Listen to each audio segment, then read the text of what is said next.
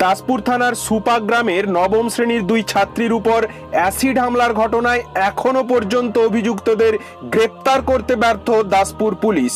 অভিযুক্তদের গ্রেপ্তারের দাবিতে আজ এগারোই সেপ্টেম্বর পথে নামল সুপা পুরসুরি উচ্চ বিদ্যালয়ের ছাত্রছাত্রী ও শিক্ষক শিক্ষিকারা। নয় সেপ্টেম্বর রাতে টিউশন থেকে বাড়ি ফেরার পথে এই সুপাপুরসুরি উচ্চ বিদ্যালয়েরই নবম শ্রেণির দুই ছাত্রী অর্পিতা খাঁ ও সুপ্রিয়া দোলই অ্যাসিড হানায় জখম। অ্যাসিড দগ্ধ দুই ছাত্রীকে সঙ্গে সঙ্গে মেদিনীপুর মেডিকেল কলেজ ও হাসপাতালে ভর্তি করা হয়। অ্যাসিড ছোড়ার ফলে সুপ্রিয়ার পিঠে অল্প অ্যাসিড পড়লেও অর্পিতার চোখ ও শরীর অ্যাসিডে গুরুতর দগ্ধ হয়েছে। আজ সেই অ্যাসিড হামলার ঘটনায় অভিযুক্তদের গ্রেপ্তার ও শাস্তির দাবিতেই বিদ্যালয়ের ছাত্রছাত্রীরা মৌন মিছিল করে। মিছিলটি গোটা সুপা গ্রাম পরিক্রমা করে বিদ্যালয়ে ফেরে। সুপা পুরসুরি উচ্চ বিদ্যালয়ের প্রধান শিক্ষক সন্দীপ সিনহা বলেন, সুপার মতো শান্তিপূর্ণ এলাকায় স্কুল ছাত্রীদের উপর অ্যাসিড হানা খুবই নিন্দনীয় ঘটনা। তিনি দোষীদের দ্রুত গ্রেপ্তারের দাবি জানান। পশ্চিম মেদিনীপুর জেলার অতিরিক্ত পুলিশ সুপার কাজী শামসুদ্দিন আহমেদ জানিয়েছেন, পুলিশ ইতিমধ্যেই ঘটনার তদন্ত শুরু করেছে।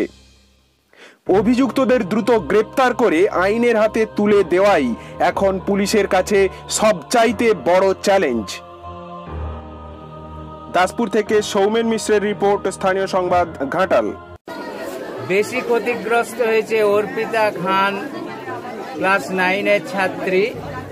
তার বাঁ দিকের গালটা পুড়ে গিয়েছে, ঝলসে গিয়েছে এবং চোখটাও ক্ষতিগ্রস্ত হয়েছে।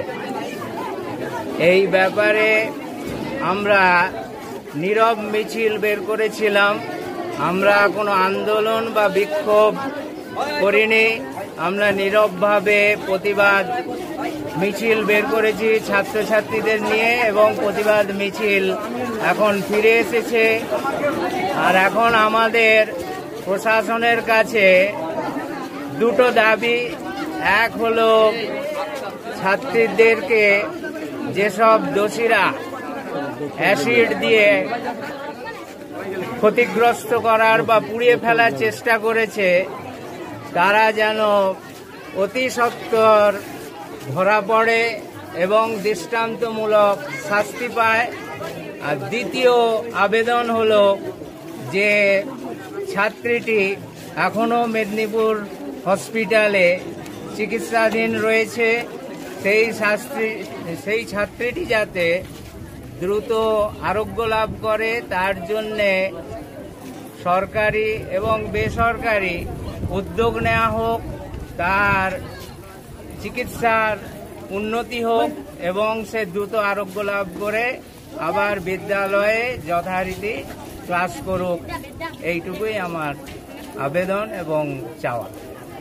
এবারে ব্যাপারটা হতে আমি যেটা বলতে চাইছি আমি হিউম্যান প্রোটেকশন অ্যান্ড অ্যাওয়ারনেস অর্গানাইজেশনের যিনি অল ইন্ডিয়া কমিটির প্রেসিডেন্ট রাজু ঘোষ, তেনার মাধ্যমে আমি এসপির সাথে যোগাযোগ করেছি।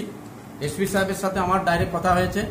এসপি সাহেব বলেছিলেন যে ওইখানে অ্যাডিশনাল এসপি উপস্থিত আছেন এবং উনি এটা নিয়ে তদন্ত করছেন এবং আইকে একজনকে ডাকা হয়েছে এবং প্রশ্ন করা হচ্ছে।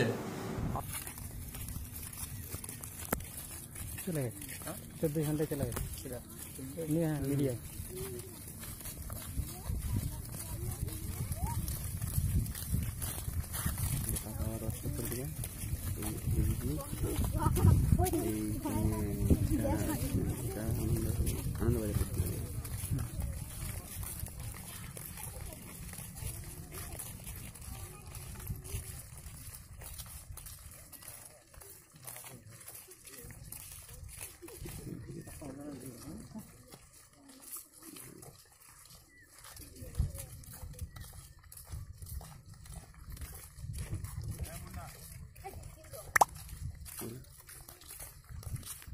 হ্যাঁ মিডিয়া ঘাটাল মহকুমার সমস্ত খবর সঙ্গে সঙ্গে পেতে আমাদের এই চ্যানেলটিকে সাবস্ক্রাইব করুন।